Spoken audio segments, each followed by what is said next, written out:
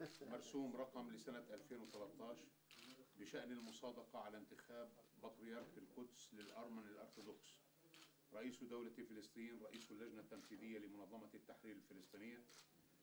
بعد الاطلاع على القانون الأساسي المعدل لعام 2003 وتعديلاته. وقانون مجالس الطوائف الدينية رقم 2 لسنة 1938 وتعديلاته. والاطلاع على نتيجة انتخابات بطريركية الأرمن الأرثوذكس بالقدس الشريف بتاريخ 24 يناير 2013 وبناء على الصلاحيات المخولة لنا وتحقيقا للمصلحة العامة رسمنا بما هو آت. مادة واحد المصادقة على الانتخاب.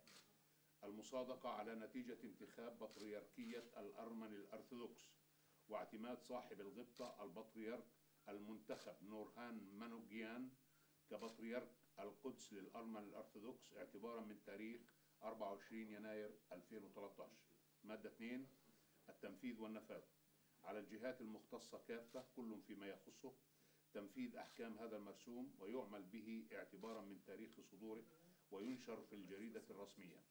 صدر في مدينة رام الله بتاريخ 28 فبراير 2013 محمود عباس رئيس دولة فلسطين رئيس اللجنة التنفيذية لمنظمة التحرير الفلسطينية.